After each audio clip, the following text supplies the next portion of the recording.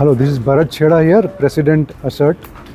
ASIRT is Association of System Integrators and Retailers in Technology. We are based primarily out of Mumbai and we have members across India also. Our primary activity is uh, to help our members, especially who are system integrators, to increase their productivity, their profits, and overall effectiveness in their business.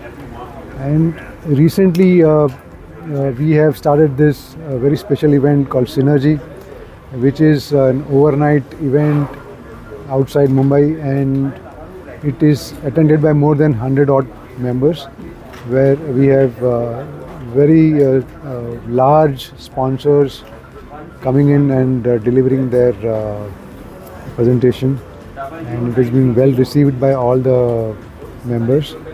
And overall, if you see, ASIRT is uh, ASIRT currently has a 250 members, and uh, we have uh, total cumulative turnover of our across the member is 4,000 crore plus, and we are very happy uh, to see that our members are getting benefited with all the activities that we have.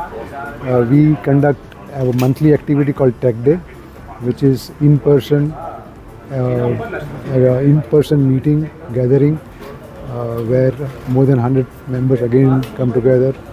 Uh, and Okay. Uh,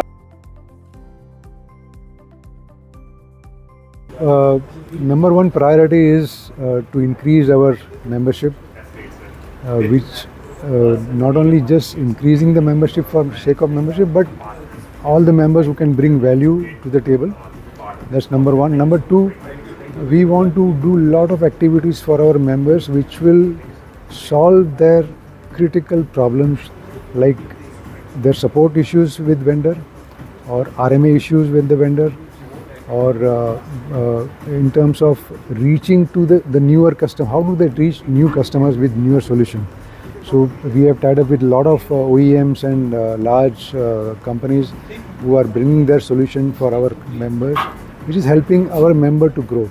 So that will continue to happen. It has happened in last 12 years and it will continue to happen. last and.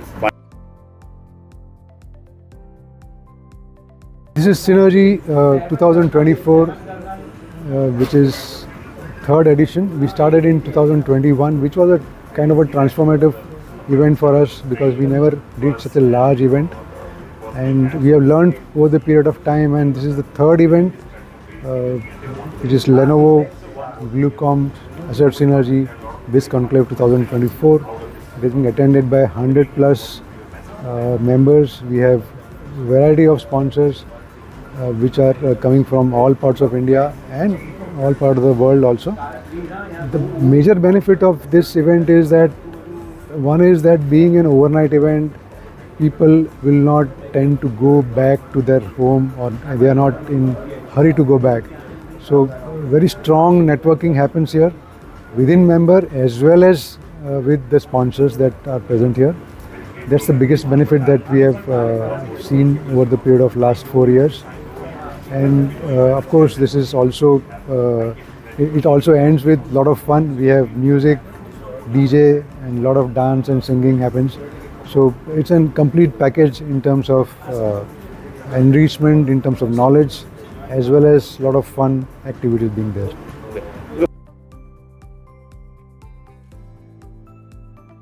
So ASIRT, you know, is a is such a beautiful place, and uh, if you have heard today's session, I'm sure you will know that it is not just about uh, you know meeting sponsors or meeting member, but the the closeness, the bonding that happens between the member, it is absolutely phenomenal, and that is helping us to grow. So my message would be very simple, that we will continue to grow with this two core uh, philosophy of ASIRT, that is collaboration, do collaborative business, and develop deep friendship within the community. Wonderful. Thank you very much. For more information, please visit www.ncnonline.net.